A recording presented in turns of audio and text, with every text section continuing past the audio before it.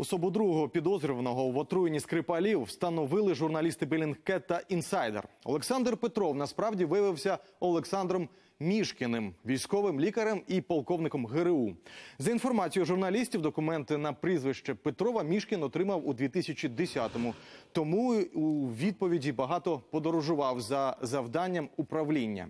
Зокрема, неодноразово відвідував Україну та самопроголошене Приднестров'я. Раніше стало відомо, що напарника Петрова, який називав себе Русланом Бошировим, насправді звати Анатолій Чепіга.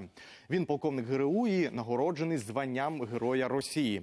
За даними розслідувачів, саме він допомагав Януковичу втікати з України у 2014-му.